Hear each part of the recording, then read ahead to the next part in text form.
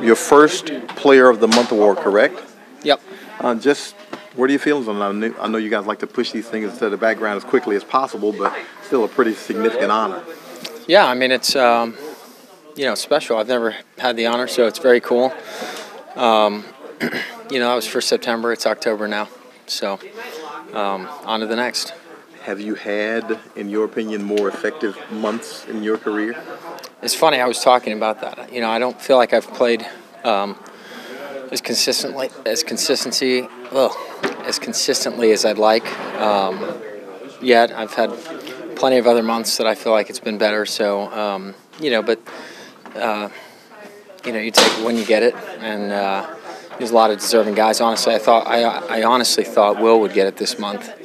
You know, you scored 12 points in a 12 to 10 game, and you hit a 58 yarder as time expires to win the game.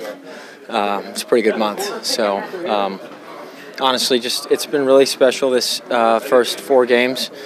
Feel like special teams as a whole, we've um, more often than not provided a, uh, a good edge in the games we played in, whether it's punting, punt return, field goal, you know, all the different units. So it's been really fun.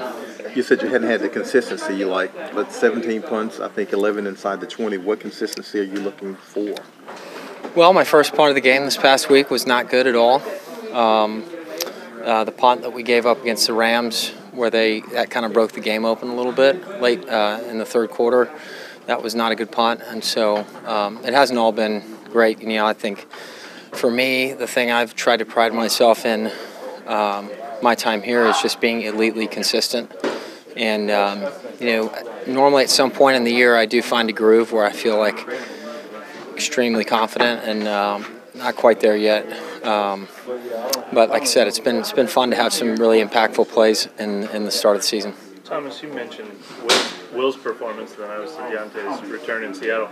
How significant is it that all these things happen sort of since Drew Brees went out and it kind of magnifies that it does take a total team effort to, to sort of replace that?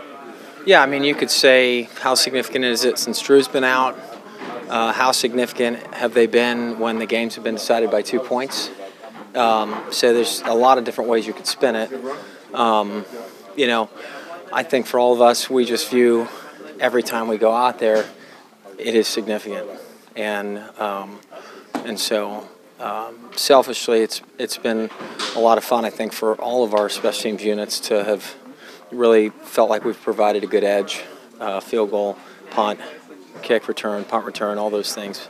So, um, you know, hopefully we can continue that.